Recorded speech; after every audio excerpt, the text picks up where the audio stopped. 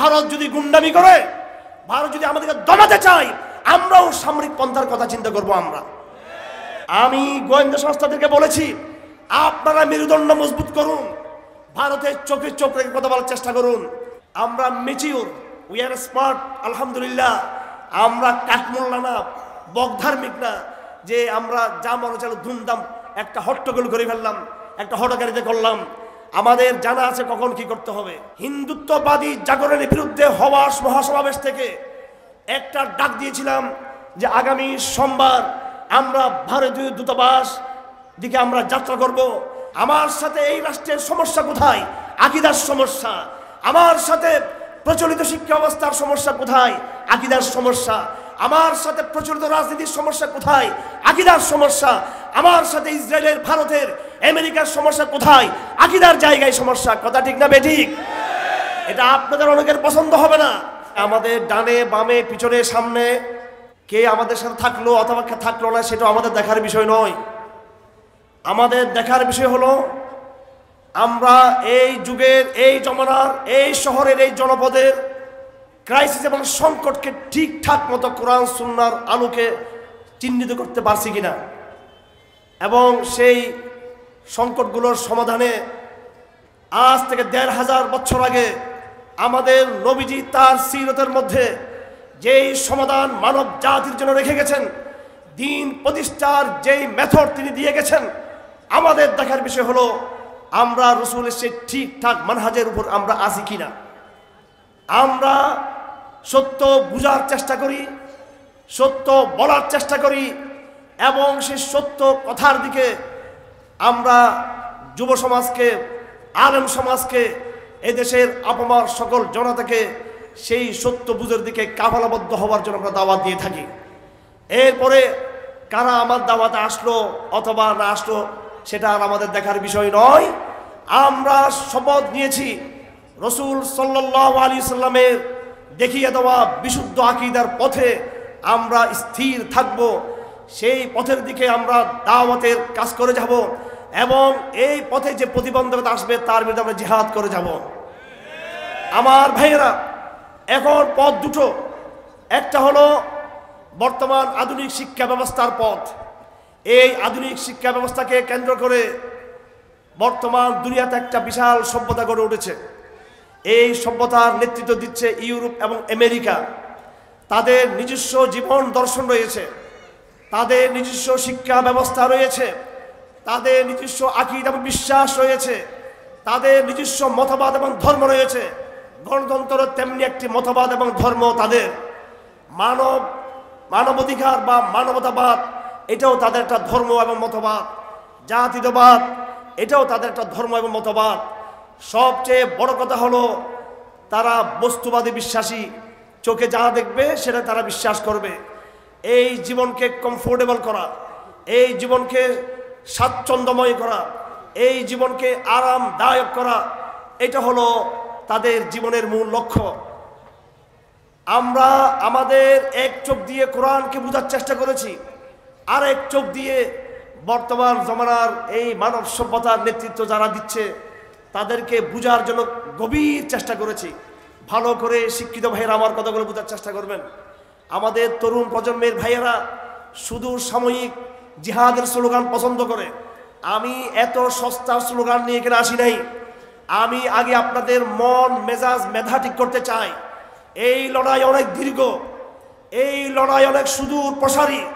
এখানে অনেক ইস্তেকামতের দরকার রয়েছে।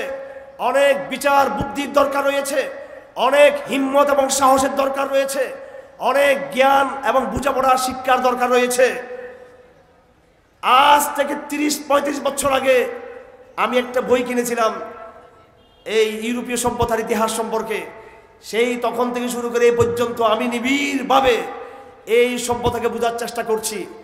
শুধু এই আধুনিক সভ্যতাকে বোঝার চেষ্টা করছি তা না, বরং এই সভ্যতাকে বিনাশ করে এই আধুনিক গণতন্ত্রবাদী, জাতীয়তাবাদী, তথাকথিত মানবাধিকারের ধ্বজাধারী এই ইউরোপিয়ান, আমেরিকান, এই সভ্যতাকে ধ্বংস করে আমরা সেই জায়গায় কোরআন এবং শরিয়াকে, খেলাফত এবং রসুলের সুন্নাকে রিপ্লেস করার সেই পরিকল্পনা নিয়ে কিন্তু আমরা কাজ করে যাচ্ছি। যাদের অন্তর্দৃষ্টি আছে, যাদের চক্ষু আছে, তারা অবশ্যই সেটা বুঝতে পারছেন যে আলহামদুলিল্লাহ ইসলাম প্রসেসিং টু রাইজ ইসলাম কিন্তু দিন দিন এক দশকের পর আরেক দশক, বিগত শতাব্দীর চেয়ে এই শতাব্দীতে, বিগত দশকের চেয়ে এই দশকে ইসলাম কিন্তু বিপ্লবের দিকে আগাচ্ছে, ইসলাম কিন্তু বিজয়ের দিকে আগাচ্ছে। আর আমাদের মধ্যে যারা হীনমনা, তারা মনে করতেছে, না, এই পারিপারিক পারিপার্শ্বিকতার সাথে, এই শত্রুদের সাথে, হেকমতের নামে, কৌশলের নামে আমাদেরকে আপোষ করে চলতে হবে। আমার ভাইয়েরা ইসলাম কখনো আপোষ শিক্ষা আমাদেরকে দেয় নাই। আমাদের নবীজি সাল্লাল্লাহু আলাইহি সাল্লাম মক্কায় ছিলেন, তিনি কৌশলগত সম্পর্ক করেছেন। কৌশল এক জিনিস, আপোষ আরেক জিনিস। বাংলাদেশে যা কিছু হচ্ছে, ইসলাম পন্থীদের পক্ষ থেকে এটা মোটেও কৌশলের অন্তর্ভুক্ত নয়, এটা বরং আপোষ করেছি আমরা তাদের সাথে। ইসলাম আমাকে কোনো আপোষ শিক্ষা দেয় নাই আমাদের বয়ান, আমাদের নেগেটিভ আমাদের কথা সম্পূর্ণ আপোষহীন হতে হবে। আর সে আপোষহীন বক্তব্যের জন্য আমাদেরকে প্রথম আকিদার জায়গায় দাঁড়াতে হবে আমাদেরকে। আমাদের বক্তাদেরকে, আমাদের রাজনৈতিক লিডারদেরকে যারা মঞ্চে ওঠে বড় গলায় কথা বলেন, মানুষকে বড় বড় স্লোগান দিয়ে উত্তেজিত করেন, তাদেরকে আমরা বলতে চাই, আকিদার ভাষায় কথা বলতে শিখুন। এই সমাজকে আকিদার ভিত্তিতে বিভক্ত করুন। এই লড়াই যেটা বাংলাদেশে হচ্ছে, এই লড়াই যেটা সারা দুনিয়াতে চলতেছে, একটাই লড়াই, সেটা হলো আকিদার লড়াই। আকিদার সংগ্রাম, আকিদার যুদ্ধ সেটা। আমার সাথে এই রাষ্ট্রের সমস্যা কোথায়? আকিদার সমস্যা। আমার সাথে প্রচলিত শিক্ষা ব্যবস্থার সমস্যা কোথায়? আকিদার সমস্যা। আমার সাথে প্রচলিত রাজনীতির সমস্যা কোথায়? আকিদার সমস্যা। আমার সাথে ইসরায়েলের, ভারতের আমেরিকার সমস্যা কোথায়? আকিদার জায়গায় সমস্যা। কথা ঠিক না বেঠিক? এটা আপনাদের অনেকের পছন্দ হবে না। আপনারা একটু চান যে রাজনীতির ভাষায় কথা বলা। অবশ্যই রাজনীতির ভাষায় কথা বলব। তার আগে মূল সমস্যা আমাদেরকে চিহ্নিত করতে হবে। আজ এই দুনিয়াতে যারা নেতৃত্ব দিচ্ছেন তারা কুফারের গডফাদার। আমি গতকালকে হেফাত ইসলামের হিন্দুত্ববাদী জাগরণের বিরুদ্ধে হওয়া মহাসমাবেশ থেকে একটা ডাক দিয়েছিলাম যে আগামী সোমবার আমরা ভারতীয় দূতাবাস দিকে আমরা যাত্রা করব এবং নিরাপদ দূরত্বের থেকে আমাদের ফলোয়ারদেরকে, আমাদের সমর্থকদেরকে আমরা শান্তি এবং শৃঙ্খলার মধ্যে রেখে, আমরা তাদেরকে শান্ত রেখে আমরা সমাবেশ থেকে ভারতীয় দূতাবাসে, ভারতীয় হাই কমিশনে আমরা ভারতের বাংলাদেশে যে হস্তক্ষেপ করে যাচ্ছে ভারত, তার বিরুদ্ধে তাকে আমরা স্মারকলিপি দিব। ছোট্ট একটা প্রোগ্রাম এটা ভারতীয় দূতাবাস ঘেরাও কর্মসূচি নয়। এটা ভারতীয় দূতাবাসের দিকে লং মার্চের কর্মসূচিও নয়। আর ভারতীয় দূতাবাসে হামলার তো প্রশ্নই তো আসে না। এটা সহজ, সরল, সাধারণ, স্বাভাবিক একটা রাজনৈতিক কর্মসূচি। জাস্ট একটা স্মারকলিপি আমরা চট্টগ্রামস্থ ইন্ডিয়ান হাই কমিশনকে আমরা দিব। সেই স্মারকলিপিতে আমরা ভারত সরকারকে বাংলাদেশের তার সাংস্কৃতিক, সামরিক, রাজনৈতিক আগ্রাসন বন্ধ করার কথা আমরা তাদেরকে বলব। এবং তাদেরকে বলব, রসুলের সিরতের আলোকে তারা যদিও একটা কাফের রাষ্ট্র, কিন্তু তারা যেন আমাদের সাথে সৌহার্দ্যের সম্পর্ক বজায় রাখে, সৌজন্যতার সম্পর্ক বজায় রাখে, কূটনৈতিক ভাষায় তাদেরকে আমরা সেই সৌজন্যতার প্রস্তাবও কিন্তু আমরা তাদেরকে দিব। আমরা মেচিউর উই আর স্মার্ট আলহামদুলিল্লাহ। আমরা কাঠমোল্লা না বকধার্মিক না, যে আমরা যা মনে চালো ধুমধাম, একটা হট্টগোল করে ফেললাম, একটা হটগাড়িতে করলাম। আমাদের জানা আছে কখন কি করতে হবে। এমন একটি সহজ, সরল এবং স্মার্ট প্রোগ্রাম সকল গোয়েন্দা সংস্থার মাথা খারাপ হয়ে গেল। আমার মনে হয়, আমার টেলিফোন বাজতেছে এখন। একের পর এক টেলিফোন আসতেছে যে কথা বলার জন্য। আমি বলেছি যে আমি একটা প্রোগ্রামে আসি তারা বলতে যাচ্ছেন ভারতীয় এমবেসির দিকে কোনো মুভ করা যাবে না। আমরা বললাম এটা শান্তিপূর্ণ মোবিলাইজেশন আমরা তো ভারতীয় এমবেসির কাছেই যাব না। ভারতীয় এমবেসি থেকে এক মাইল, দুই মাইল, এক, দুই কিলোমিটার দূরে আমাদের জনশক্তিকে, জনসমাবেশকে রেখে আমরা তিন, চারজন মানুষ একটা গাড়ি নিয়ে এমবেসিতে আমরা একটা চিঠি দিয়ে আসব। আমাদের এই দুর্বল সরকারের, এই মেরুদণ্ডহীন বাংলাদেশ সরকারের এতটুকু সাহস নেই যে দেশের জনগণ তাদের প্রতিবাদ স্বরূপ ভারতীয় এমবিসিকে তারা সতর্কতা স্বরূপ একটি স্মারকলিপি দিবে, এতটুকু আয়োজনের সাহস আমাদের গভর্নমেন্টের নাই। আমি গোয়েন্দা সংস্থাদেরকে বলেছি, আপনারা মেরুদণ্ড মজবুত করুন, ভারতের চোখে চোখ রেখে কথা বলার চেষ্টা করুন। কূটনীতি হলো শান্তি এবং যুদ্ধ দুটো জিনিসের নাম। আপনি সীমান্ত এলাকায় আমার কাছে ফুলের গুচ্ছ নিয়ে আসবেন, আমি আপনাকে ফুল দিয়ে বরণ করব। আপনি সীমান্ত এলাকায় আমাকে সেলুট করবেন, আমি আপনাকে সেলুট করব। এটা কূটনীতি, কথা ঠিক না বেঠিক আপনি সীমান্ত এলাকায় অবাধ বাণিজ্যের সুযোগ দিবেন, আমিও আমার বাণিজ্যিক পণ্য আপনার দেশে পাঠাবো আপনি সীমান্ত এলাকায় ওপারের লোকদেরকে এদিকে আসতে দিবেন, বিনোদনের জন্য, চিকিৎসার জন্য, অথবা ব্যবসার জন্য, আমি আমার লোকদেরকে ওইদিকে পাঠাবো দুটি দেশে আমরা এইভাবে শান্তিপূর্ণ সহাবস্থান করতে চাই। এটা কূটনীতি।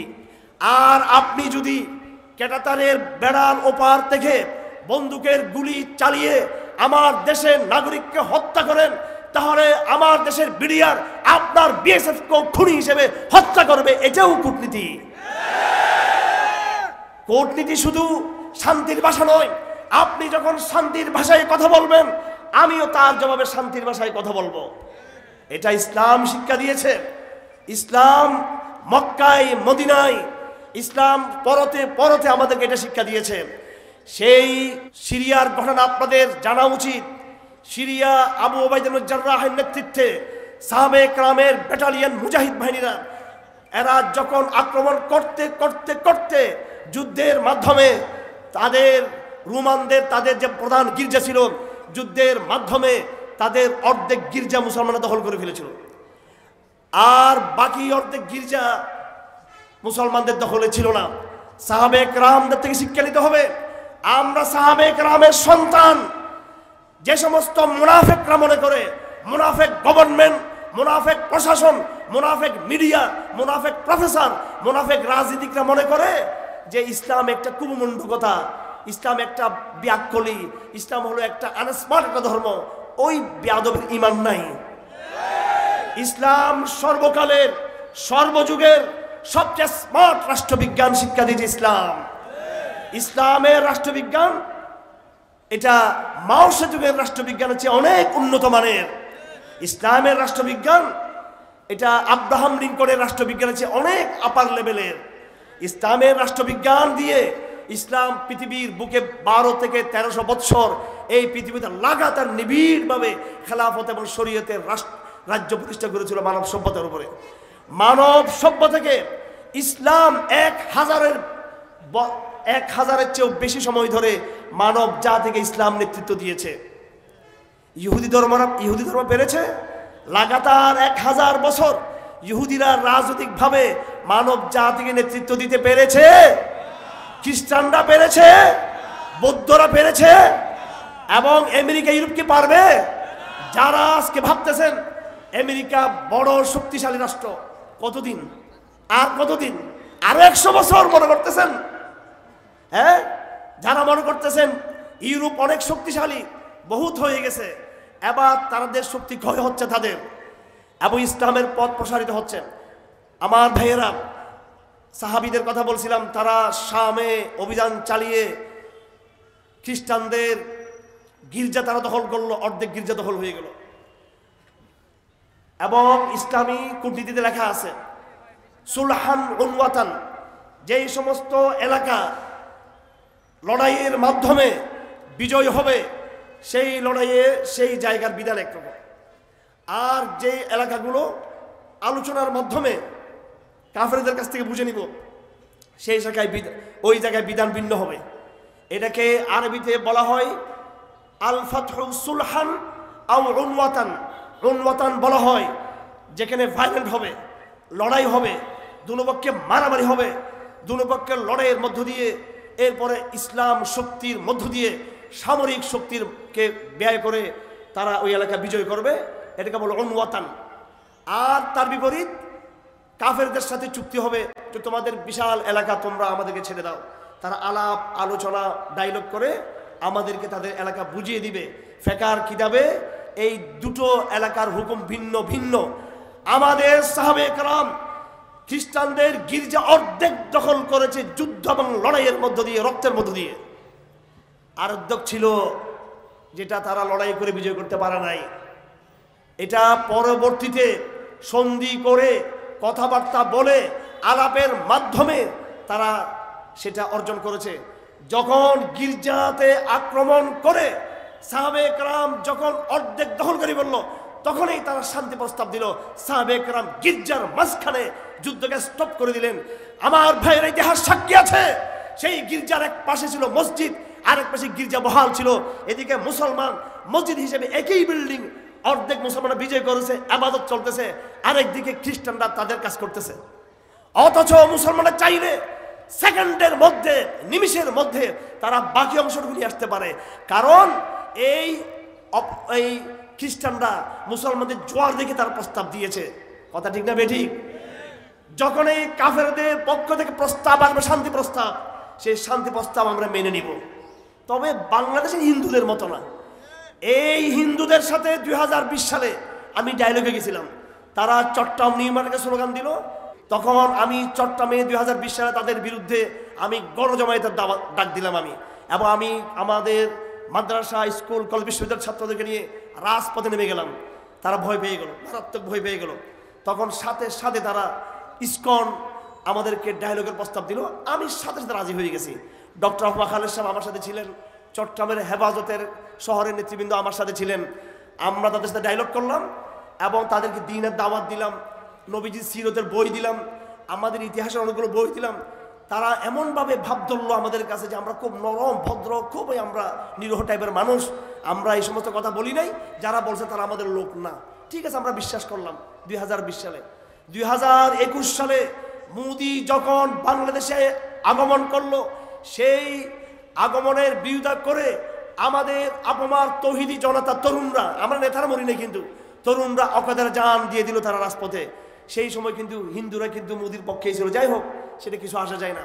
আমরা কারাগারে গেলাম, কারাগার থেকে বের হলাম, আর হিন্দুদের কিন্তু আর দেখা সাক্ষাৎ নাই। এবার হিন্দুদের হেফাজত যখন চাপে পড়ে গেল, এবার কিন্তু আবার ইস্কন কিন্তু ঠিকই কিন্তু আবার তাদের মোজ বাড়া শুরু করল। যাই হোক, সমস্যা নাই। এখন দেখি যে আর কেউ আদের ফোন টোন করে না, কেউ আর যোগাযোগ করে না। ওই সময় চাপে পড়েছিল, যোগাযোগ করছে। এখন উল্টা বরং আমরা চাপে পড়ে গেছি সরকারের। এখন তারা বলে বলে, আপনারা তো খুব চাপে আছেন। এই চট্টগ্রাম শহরে আমি হিন্দুদের, হিন্দু মন্দিরের অনেক ভূমি, আমি তাদেরকে অধিকার, আমি তাদেরকে এগুলোর দখল পুনর, কি বলে সেটাকে, অর্থাৎ দখল মুক্ত করে দিয়েছি আমি। হিন্দুদের জায়গা। কারণ ফেকার কিতাবে রয়েছে, অমুসলিমদের কোনো মন্দিরের সম্পদ বা তাদের ব্যক্তিগত সম্পত্তি যদি কোনো মুসলমান যদি জোর জবরদস্তি করে দখল করে থাকে, সেটাকে দখল মুক্ত করাটা জরুরি। একজন হিন্দু নাগরিক দেশে ওই পরিমাণ জান, মাল, ইজ্জতের অধিকার পাবে, যেই পরিমাণ জান, মালের ইজ্জতের অধিকার একজন মুসলমান পাবে। এটা ফেকার কিতাবে লেখা আছে। হজরত আলী বলেছেন, যেহেতু তারা আহলে জিম্মা, তারা যেহেতু আমাদের দায়িত্বে আছে, দামুহুম কাদিমা ইনা তাদের রক্ত আমাদের রক্তের মতো ও তাদের মাল আমাদের মালের মতো। ও আরজহুম কা রাজিনা এবং তাদের সম্পদ আমাদের সম্পদের মতো। সেই হিসাবে আমরা তাদের সাথে কোরআনের আলোকে সে আচরণ করে আসতেছিলাম। আমার ভাইয়েরা, আমি আপোষের কথা বলতেছিলাম, কূটনীতির কথা বলতেছিলাম। শান্তি যখন শত্রু চাইবে, আমি শান্তির আচরণ করব। আর শত্রু যখন অশান্তি চাপিয়ে দিবে, আমি কিন্তু তার বিরুদ্ধে অশান্ত হয়ে যাব। তো সেটা হচ্ছে কূটনীতি। কিন্তু আমাদের দেশের হিন্দুরা কিন্তু আমাদের সাথে বরাবরই মুনাফিকি তারা করে আসছে। শেখ হাসিনা বাংলাদেশ থেকে চলে যাওয়ার পর এবার তারা নতুন এক ট্রাম কার্ড আমাদের সামনে নিয়ে আসলো। সেটা হলো এই সংখ্যালঘু ট্রাম কার্ড। এটা বিগত তিন মাসে স্পষ্ট হয়ে গেছে, বাংলাদেশের হিন্দুরা ভারতের হয়ে কাজ করতেছে, বাংলাদেশের হিন্দুরা এরা আওয়ামী লীগের বিটিম হয়ে তারা কাজ করতেছে। আমি হিন্দু বলতে হিন্দু রাজনৈতিক সংগঠনগুলোর কথা বলতেছি। আমি হিন্দু বলতে হিন্দু, সাধারণ নাগরিকদের কথা বলতেছি না। আপনাদেরকে আমি পরিষ্কার বলে দিচ্ছি, সমগ্র বাংলাদেশে আপনারা সাধারণ হিন্দু যারা আছে, হিন্দু জনগণের সাথে, হিন্দু নাগরিকদের সাথে বিগত চারশো বছর, পাঁচশো বছর, সাতশো বছর, আটশো বছর ধরে যেইভাবে সহাবস্থানে আমরা আছি, তাদের সাথে সেইভাবে সহাবস্থানে আমরা থাকব। হিন্দু নাগরিকদের সাথে আমাদের কোনো সমস্যা নাই। হিন্দু মন্দিরগুলোর সাথে কোনো সমস্যা নাই। হিন্দু জনসমাজের সাথে আমাদের কোনো সমস্যা নাই। কিন্তু হিন্দুদের মাথা বিক্রি করে যে সমস্ত ভারতীয় দালাল হিন্দুত্ববাদী সংগঠন, প্রত্যেকটা সংগঠনকে বাংলাদেশ নিষিদ্ধ করতে হবে। হয়তো সরকার নিষিদ্ধ করবে, আর না হয় আমরা নিষিদ্ধ করার সক্ষমতা রাখি। আপনাদেরকে বলেছিলাম, কাদের দিন নিষিদ্ধ করুন? কাদের দিন নিষিদ্ধ করেন নাই? আপনাদেরকে বলেছি, ঘাতক দালাল নির্মূল কমিটি নিষিদ্ধ করুন, সেটা করেন নাই। আপনাদেরকে বলেছি প্রথম আলু ডেলিস্টের ব্যবস্থা গ্রহণ করেন সেটা আপনারা করেন নাই। আপনাদেরকে বলা হচ্ছে, ইস্কনকে নিষিদ্ধ করেন। আপনাদের প্রভু ভারতকে ভয় পেয়ে আপনার ইস্কনকে নিষিদ্ধ করার সাহস পাচ্ছেন না। অথচ বাংলাদেশে হিজবুত তাহারিরকে নিষিদ্ধ করা হয়েছে, জামাতুল মুজাহিদিন নিষিদ্ধ করা হয়েছে, হরকতুল জিহাদ নিষিদ্ধ করা হয়েছে, ইসলামের নামে বহু সংগঠন নিষিদ্ধ করা হয়েছে। ঠিক আছে, সেটাকে আমরা আমরা সেটাকে আপনাদের অনেক সময় নীরবতা দিয়ে আমরা সেখানে অব- অবস্থান করেছি। আমরা আপনাদের নিষেধাজ্ঞার বিরুদ্ধে রাজপথে নামি নাই। অথচ বিগত সংগঠনগুলোকে আপনারা জঙ্গিবাদের তকমা দিয়ে যদি নিষিদ্ধ করতে পারেন, তাহলে কি কারণে আপনারা এই হিন্দুত্ববাদী, সন্ত্রাসবাদী সংগঠনকে কেন নিষিদ্ধ করবেন না আপনারা? যদি ইসকনকে নিষিদ্ধ করতে না পারেন, হিজবুত তাহরিরকে পারমিশন দিয়ে দেন, তারা যেন কাজ করে। আমি হিজবুত তাহরিরের লোক না। এবং হিজবুত তাহরির কাজের ঢঙ্গের সাথে আমার কিন্তু পুরোপুরি মিল নাই। আমি তাদেরকে বলেছি, বাংলাদেশে তোমরা কাজ করবা, বাংলাদেশের আবহাওয়া, পরিবেশ দেখে কাজ করবা। হিজবুত তাহারির একটা নামটাই তো বিদেশি নাম, এটা এখানে সন্দেহ তৈরি করতে পারে। তাদের সাথে আমাদের বোঝাপড়া রয়েছে ভাইদের সাথে।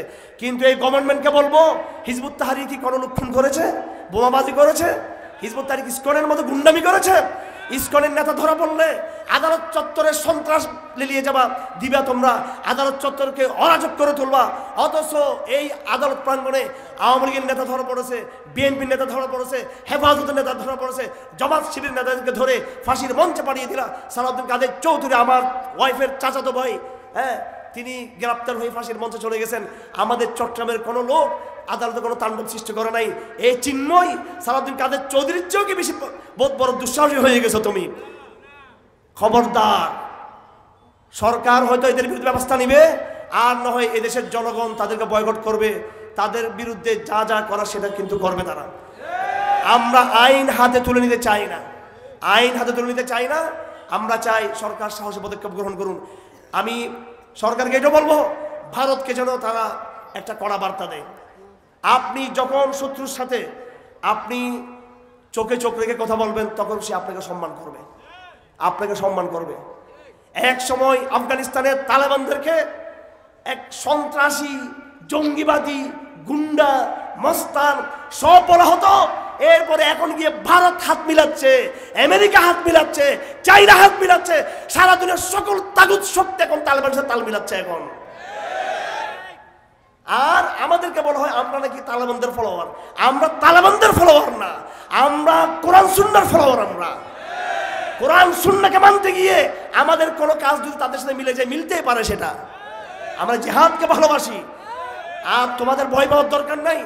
আমরা আফগানিস্তান থেকে বাংলাদেশে সশস্ত্র করে জিহাদকে আমদানি করি নাই। আমরা সাপের লেস আঘাত করতে চাই না। সাপের মাথা দিল্লি তেলাবিব মায়ানমার, ওইসব মাথাকে আমরা আঘাত করতে চাই আমরা। তেলাবিব এই তেলাবিব শান্তির ভাষা বুঝবে না। বাইতুল মুকাদ্দাস দখল করে আছে। শান্তির ভাষা সে বুঝবে কোনোদিনও। বাইতুল মুকাদ্দাস শান্তি প্রস্তাব দিয়ে বাইতুল মুকাদ্দাস উদ্ধার হবে না। সুতরাং আমাদেরকে এত বেকু মনে করলে ভুল হবে। বাংলাদেশে আমরা কোনো রকমের ওই রকম কোনো ভাইলেন্ট কোনো কিছু করছি না।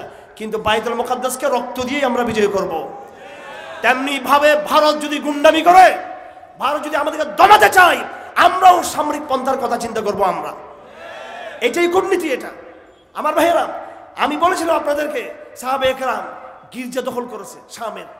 আল মসজিদুল আমবি, আপনারা সকলে জানেন এটা আগে এক সময় গির্জা ছিল। বিশাল গির্জা ছিল। বিশাল গির্জা। সাহাবে একরাম এক কদম সামনের দিকে আগান নাই। সাহাবে একরাম ইনসাফ, শত্রু থুতু মেরেছে। সাহাবে একরাম তাকে হত্যা করে নাই ব্যক্তিগত কারণে। সাহাবে একরাম যুদ্ধের ময়দানে মানবতা দেখিয়েছেন, আমরা মানবতার আসল ফেরিওয়ালা হলাম আমরা। আপনার কোরআন দিকে ফিরে আসুন। আমাদের, আমি কথা শেষ করে দিচ্ছি। আমাদের দুঃখ এই জন্য নয় যে ভারত আমাদের বিরুদ্ধে, আমেরিকা আমাদের বিরুদ্ধে, কুফার শক্তি আমাদের বিরুদ্ধে এই জন্য দুঃখ আমাদের নয়। আমাদের দুঃখের কারণ হলো, আমরা এদিকে তাকান। আমাদের দুঃখের কারণ হলো, যারা আমরা দিন কায়েমের স্বপ্ন দেখি, যারা আমরা নিজেদেরকে দিনের কর্মী বলে মনে করি, যারা আমরা নিজেদেরকে ইসলামী আন্দোলনের, ইসলামী সংগ্রামের সৈনিক বলে আমরা দাবি করি নেতা দাবি করি, কর্মী দাবি করি, আমাদের কাজের সাথে নবীজির দিন প্রতিষ্ঠার কাজের কোনো মিল নাই। কোরআন কোথায়? দাওয়াত কোথায়? ইমান ভঙ্গের কারণ কোথায়? সিরত রসুল কোথায়? আজ ইসলামের স্বপ্ন আমরা দেখি, অনেক প্রতিষ্ঠান কায়েম হয়েছে, অনেক আনুষ্ঠানিকতা হচ্ছে, কিন্তু আমাদের কাজের সাথে সিরত রসুলের সম্পর্ক নেই। এই কথাটা একটু বড় কথা বলতেছি আপনাদেরকে। আমার ভাইয়েরা দিন প্রতিষ্ঠার জন্য আমাকে আপনাকে এসলা হবার দরকার আছে না নাই? আমাদের পরিশুদ্ধ হবার দরকার আছে কিনা? মাঠে ময়দানে গরম বক্তৃতা করে মাঠ ময়দান গরম করে লাভ নাই। প্যান্ডেলে লাখ লাখ মানুষের গণজমায়েত করে লাভ নাই। দু হাজার তেরো সালে ইতিহাসের সর্ববৃহত্তম গণজমায়েত আমরা তিন চারজন যুবক মিলে করেছিলাম আল্লামা শফির নেতৃত্বে। তখন ঢাকার কোনো হুজুর ছিল না। চট্টগ্রাম থেকে আমরা তিন, চার পাঁচজন তরুণ আর আল্লামা আহমদ শফির আধ্যাত্মিক নেতৃত্ব ছিল, জুনাইদ বামনগরী রহিমাহুল্লাহ তালার তার সর্বাত্মক দিক নির্দেশনা ছিল, এই দুই ব্যক্তিকে নিয়ে, মরহুম, আমাদের এই দুই ইমামকে নিয়ে আমরা মাত্র তিন থেকে চারজন যুবক সিদ্ধান্ত নিয়েছি, বাংলাদেশকে আমরা শাহবাগ মুক্ত করব, শাহবাগের কবর রচনা করব এবং ইতিহাসের বৃহত্তম গণজামায়াত আমরা সাপ্রযত্তর করব আমরা। সেই গণজমায়েত আমরা করেছি। এই গণজমায়েতের গণজমায়েতের মূল পরিকল্পনাকারী ছিলাম আমরা। আর যখন আমরা গণজমায়েত করে ফেললাম, তখন এই আন্দোলনটা আমাদের কিছু ভাই ব্রাদার এই আন্দোলনে কিডন্যাপ করে নিয়ে গেল তারা। আমরা ময়দানের চাপাবাজ ব্যক্তি না। সেই গণজমায়েত বাংলাদেশে হয়েছে। এখনও বাংলাদেশে চাইলে এক কোটি মানুষের গণজমায়েত আমরা করতে পারি ঢাকায়। আমার ভাইরা গণজমায়েত ইসলাম প্রতিষ্ঠা হবে না। মাহফিল দিয়ে ইসলাম প্রতিষ্ঠা হবে না। মিটিং করে, মিছিল করে ইসলাম প্রতিষ্ঠা হবে না। সংসদ ভবনে গিয়ে যারা এমপি, মন্ত্রী হবার স্বপ্ন দেখছেন, এটা দিয়ে সাময়িক হয়তো কিছু হতে পারে, কিন্তু ইসলাম স্থায়ীভাবে বিজয়ী হবে না। আপনারা বাংলাদেশ ইসলামকে বিজয় করতে চান কি চান না? আপনারা চান ইসলামকে বিজয় করতে? যদি বাংলাদেশ ইসলামকে বিজয় করতে চান, তাহলে এই যে বেদাতে হাসানার ঢঙ্কা চলতেছে, এই সব বেদাতে হাসানা আমি আজকে প্যান্ডেলে বসেছি। এটাও কিন্তু বেদাত হাসানা। আমাকে র্যাব জিজ্ঞেস করেছিল যে হেমাত ইসলাম সম্পর্কে আপনার বয়ান কি? আমি বলেছি, আমাদের রাজনৈতিক সংগ্রাম হচ্ছে বেদাতে হাসানা। তারা বলতেছে, তাহলে আপনি কি চান? আমি বলেছি, আমি নবীর সিরত চাই। তারা আমাকে বলল, কি নবীর সিরত? আমি বললাম, আকিদা, দাওয়াত, জিহাদ। যখন জিহাদের কথা বললাম, তারা বলল, এইটা কি বললেন? আমি বললাম, এখন আমি দাওয়াতে আসি আপনারা যেদিন আমাদের সাথে কাফলাবদ্ধ হবেন, আপনাদেরকে নিয়েই আমরা জিহাদ করব। আমি র্যাবের মেজরকে বলেছি, এবং একজন এসপিকে বলেছি, বেচার, এখন মেহমান খানায় আছে এখন। আমাকে যিনি মেহমান খানে নিয়ে গেছিলেন, উনি এখন মেহমান খানে নিয়ে আসেন এখন। সময় পাল্টে যায়। নাস। ঠিক আছে? যাই হোক, আমার ভাইয়েরা, এগুলো ভয় পাওয়ার কারণ নাই। আল্লাহর কসম খেয়ে বলছি আমি রিমান্ডও আমাদের শেখ এখানে রয়েছেন হাফিজাউল্লাহ তাআলা। আসছেন শেখ, নিশ্চয় না? আচ্ছা আমি আর দেরি করব না। রিমান্ডে আমরা সত্য কথা বলেছি। আমরা সেখানে আকিদের দাওয়াত দিয়েছি। আমরা সেখানে দিন প্রতিষ্ঠার জন্য তাদেরকে আসতে বলেছি। আমাদের কথা শুনে বড় বড় অফিসাররা বলেছে যে আসলে আমাদের মনে গজবতুল হিন্দের প্রেরণা আছে। আমাদের মনে জেহাদের প্রেরণা আছে। কিন্তু আমরা সময়ের অপেক্ষা করতে চাই, আমরা একটু কৌশলে যেতে চাই, আমরা একটু এটা তারা বলছে, ইনশাআল্লাহ আজিজ, আমরা গণ দাওয়াত দিব। আমি আপনাদেরকে বলতে চাই, এই যে দিন প্রতিষ্ঠার যে সিস্টেমে আমরা এখন চলে গিয়েছি, শোডাউন, সোয়াব, গণজমায়েত, এইভাবে রাজনৈতিক কর্মসূচি, ইত্যাদি ইত্যাদি থাকবে, সমস্যা নাই। আমাদের মূল কাজ হলো বাংলাদেশের প্রত্যেকটা মসজিদকে আবাদ করা। হামাসে হামাস গাজায় ফিলিস্তিনে ইসলামকে বিজয়ী করতে পেরেছে। গাজা ধ্বংস হয়ে গেছে। গাজা ধ্বংসস্থ পরিণত হয়েছে। কিন্তু গাজা ইমান, ইমানের পতাকাকে বুলন্দ রেখেছে। আর বাংলাদেশের কোনো ধ্বংসস্তূপ হয় নাই। একটা বিল্ডিংও ধ্বংস হয় নাই। ভারতের কোনো মিজাইল বাংলাদেশ আক্রমণ করে নাই। কিন্তু বাংলাদেশের ইমানের পতাকা মাটির তলে পড়ে আছে। গাজা ধ্বংস হয়েছে। ইরাক ধ্বংস হয়েছে, আফগানিস্তান ধ্বংস হয়েছে, কালেমার পতাকা কিন্তু সেখানে কিন্তু পথ পথ করে উঠতেছে কিন্তু। গাজা ধ্বংস হয়েছে, কালেমার পতাকা কিন্তু মানুষের সাথে মিশে নাই। আর আমাদের বিল্ডিং ঠিক আছে, কিন্তু কালেমার পতাকা নাই। কালেমার পতাকা উঠেলে বড় যেটা জঙ্গিবাদের প্রতীক এটা নাউজবিল্লা সুতরাং আমি আপনাদেরকে বলতে চাই, দেড় হাজার বছর আগে ইসলাম যে পথে বিজয়ী হয়েছে, সেই পথ ছাড়া অন্য কোনো পথে ইসলাম কি বিজয়ের সম্ভাবনা আছে? নাই। সেটা শুধু দেড় হাজার বছর আগের কথা নয়, সুমালিয়াতে ইসলাম বিজয়ী হয়েছে, আলহামদুলিল্লাহ। আফ্রিকাতে ইসলাম বিজয়ী হয়েছে, আফগানিস্তান ইসলাম বিজয়ী হয়েছে, এবং লিবিয়ার বিশাল এলাকা জুড়ে, আলহামদুলিল্লাহ, এখন ইসলামপন্থীরা ক্ষমতায় রয়েছে। আফ্রিকার অর্ধেক ফিফটি পার্সেন্ট জায়গা আফ্রিকার, এখন মুসলমানদের নেতৃত্ব, মুসলমানদের আয়ত্ত রয়েছে, আলহামদুলিল্লাহ। এগুলো আমাদের খবর নাই, এগুলো আমাদের। আগামী আগামী বিশ থেকে পঞ্চাশ বছরের ভিতরে এই পৃথিবীর বিশাল অংশ জুড়ে এই মানচিত্র থাকবে না, আমি বলে দিলাম আপনাদেরকে। আগামী পঞ্চাশ বছর পর আমাদের স্কুলে, কলেজে, বিশ্ববিদ্যালয়ে যে ওয়ার্ল্ড মানচিত্র আসবে, সেটা এক নতুন মানচিত্র দেখবে সেটা। নতুন এক মানচিত্র আসবে। এটা আমি কসমকে বলতেছি এই কথা। এটা আমি রাষ্ট্রবিজ্ঞানের জায়গা থেকে বলতেছি। যারা মনে করে হারুন আবেগী মানুষ, কিসের আবেগী আমি? আমি কিসের আবেগী? আমি তো স্টেজে চিল্লায় কথা বলি। বিগত দশ ঘণ্টা আমি কি করেছি? আমরা পড়ালেখা করি, আমরা কোরআন শূন্য গবেষণা করি পলিটিক্যাল সায়েন্সের সমস্ত বই আমরা সংগ্রহ করে পড়ার চেষ্টা করি। আমি আমার রাজনৈতিক কনসেপ্ট থেকে বলতেছি এটা। আগামী পঞ্চাশ বছরের মানচিত্র, দুনিয়ার বুকে এটা বিশাল এক ইসলামী মানচিত্র সেটা। এই কথা যারা বুঝে না, সে ব্যাকল বেকুফ অথবা মোনাফেক। ব্যাকল হওয়া যাবে না, মোনাফেক হওয়া যাবে না। সুতরাং আসুন ইসলাম প্রতিষ্ঠা করতে হলে মসজিদকে আবাদ করতে হবে। যতদিন পর্যন্ত আমাদের এই তরুণ প্রজন্ম ফজরের জমায়েতে, ফজরের নামাজে গণহারে ফজর ক্যাম্পেইন করবে না, ফজর ক্যাম্পেইন করে তারা মসজিদকে আবাদ করবে না, দিন বিজয়ের স্বপ্ন আমরা দেখি না। আমি গতকালকে এক মাহফিলে বলেছিলাম, তরুণ সমাজ কম্বল ছেড়ে ফজরের সময় মসজিদে আসুক। এতটুকু আগে তারা করুক, তরুণ সমাজ চলে আসুক। বাকি মসজিদ থেকে দিল্লি পর্যন্ত যাবার নেতৃত্বটা আমরা দিব বাকি কাজটা। আগে আপনি বিছনা ছেড়ে মসজিদে আসুন। আপনি কোরআনকে ধারণ করুন। আপনি সুন্নাকে ধারণ করুন। ইমান ভঙ্গের কারণ প্রত্যেকটি স্কুলে, কলেজে, বিশ্ববিদ্যালয়ে সবাইকে বুঝিয়ে দেন, এইটা এটা ইমান ভঙ্গের কারণ। এই সংকট আমলের সংকট নয়, এই সংকট আকিদার সংকট। এই জমানার মুসলমান আমল হারাই নাই, আকিদা হারিয়েছে। রসুলের মেথডকে বাদ দিয়েছে তারা। সুতরাং ওই জায়গায় ফিরে আসতে হবে। কোরআনের জায়গায়, মসজিদের জায়গায়, জেহাদের জায়গায়, আকিদার জায়গায় এবং দাওয়াতের জায়গায় ফিরে আসতে হবে। আমাদের কিছু ভাইকে হাজিগঞ্জে গ্রেফতার করা হয়েছে। আমি তাদের ব্যাপারে স্পষ্ট বলতে চাই। যারা তাদেরকে গ্রেফতারি ষড়যন্ত্র করেছেন, কিংবা সেই সব আইন শৃঙ্খলা বাহিনী, আমাদের কোনো কর্মীদের গায়ে হাত দেওয়ার চেষ্টা করবেন না। আমাদের এই সমস্ত ভাইয়েরা আমাদের সাথে যুক্ত রয়েছে। এরা কোনো জঙ্গি ছিল না। এরা কোনো রকমের সশস্ত্র কোনো কার্যক্রমে জড়িত ছিল না। এরা আর কোনো দ্বারা দিয়েছেন।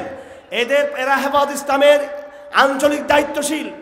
এখানে যারা গ্রেপ্তার হয়েছে সবাই হেফাজত ইসলামের কর্মী এবং সরাসরি আমার সাথে সম্পৃক্ত। সুতরাং বিগত দিনে যারা গ্রেপ্তার হয়েছে, আপনারা মনবেন, বাপরে বাপ এদের থেকে দূরে থাকি, এগুলো জঙ্গি মামলায় গ্রেপ্তার হয়েছে, আবার আমিও জঙ্গি হয়ে যাব। তারা এই মুনাফিকি করবেন না। আগে যা হবার হয়ে গেছে কাউকে কোনো রকমের মিথ্যাবাদ দিয়ে গ্রেপ্তার করা যাবে না। সমগ্র বাংলাদেশে আমরা তরুণদের সাথে যোগাযোগ রেখেছি। হ্যাঁ তরুণদেরকে আমরা বলে দিয়েছি, তারা যেন কোনো হটকারী কোনো কাজ আমাদের অনুমতি ছাড়া, শেখ হাফিজাউল্লাহ এখানে আসেন অনুমতি ছাড়া আনুগত্যের বাইরে যেন কোনো কাজ কেউ যেন না করে। কথাটি কিনা? আপনার ধৈর্য ধারণ করুন, ধৈর্য ধারণ করুন। ইনশাল্লাহ সময় যখন আসবে, কাফেরের মাথার সাথে বোঝাপড়া হবে ইনশাল্লাহ দাওয়াতের অবশ্যম্ভাবী পরবর্তী পর্ব কিন্তু জিহাদ ফিসাবিল্লাহ আপনি মনে করেছেন জিহাদ ব্যতীত এই অঞ্চলে শান্তি প্রতিষ্ঠা হবে? এই ভারত যতদিন তার সামরিক, রাজনৈতিক, সাংস্কৃতিক শক্তি অক্ষুণ্ণ রাখবে, ততদিন সে বাংলাদেশকে ডিস্টার্ব করতেই থাকবে সে বাংলাদেশকে। যারা আমাদেরকে ডিস্টার্ব করবে, আমরাও তাদেরকে ডিস্টার্ব করব আমরা। এটাই হচ্ছে পথ। কুকুর কামড়াবে, কুকুর ছুবল দিবে, আর আমি পালিয়ে বেড়াবো সেটা হবে না। সময় যখন আসবে, তখন আমি পাল্টা আঘাত শুরু করব। বাংলাদেশে কোথাকার ইস্কন, কোথাকার হিন্দু বৌদ্ধ খ্রিস্টান ঐক্য পরিষদ, কোথাকার আওয়ামী লীগ, এই সমস্ত এদেরকে গণনায় আনবেন না। এগুলো সাপের লেস সাপের লেসকে গণনায় আনবেন না। এই লড়াইকে তেলাবিবে নিয়ে যান। তেলাবিব চিনেন তো? ইসরায়েলের রাজধানী। এই লড়াইকে ইসরায়েল রাজধানী নিয়ে যেতে হবে। এই লড়াইকে ওই সমস্ত রাজধানী নিয়ে যেতে হবে, যেই সব রাজধানী থেকে বিদেশি শক্তিগুলো আমাদের বিরুদ্ধে চক্রান্ত করতেছে, এই লড়াইকে ওই জায়গায় নিয়ে যেতে হবে। বার্তা বুঝে আসছে আপনাদের? তার জন্য আপনাদেরকে গণজাগরণ তৈরি করতে হবে। গণজাগরণ যখন আপমার বাংলার জনতা, এদেশের লাখ লাখ স্কুল, কলেজ, বিশ্ববিদ্যালয়ের ছাত্ররা কোরআন নিয়ে বলবে, এই প্রচলিত শিক্ষা ব্যবস্থা মানি না। আমরা আল কোরআনের শিক্ষা ব্যবস্থা চাই, তখন যে গভর্নমেন্ট ক্ষমতা থাকুক না কেন তার বাধ্য হবে এই সিলেবাসকে পরিবর্তন করার জন্য। আপনাকে সেই গণজাগরণ তৈরি না করা পর্যন্ত আপনি অন্য কোনো চিন্তা করে লাভ নেই। সেই জাগরণ তৈরি হবে মসজিদ থেকে শুরু হবে। এবং আল কোরআন দ্বারা আপনারা দিবেন, পাঠাগার কায়েম করবেন, সামাজিক শক্তিগুলো ইসলামের পক্ষে ঐক্যবদ্ধ হবেন এবং প্রত্যেক স্কুল, কলেজ, বিশ্ববিদ্যালয়ে আপনার তহিদের চর্চাকে ব্যাপকভাবে আপনারা বাড়িয়ে দিবেন। আল্লাহ বাকসুমান তালা আমাদের সকলকে দাওয়াতের কাজে যুক্ত থেকে আগামী দিনে ইমাম মাহাদের কাফালার সাথে অন্তর্ভুক্ত হওয়ার তৌফিক দান করুন। ওমা আলাইনা ইল্লাল বালাক ওয়া দাবান আলহামদুলিল্লাহ রবিল আলামিন।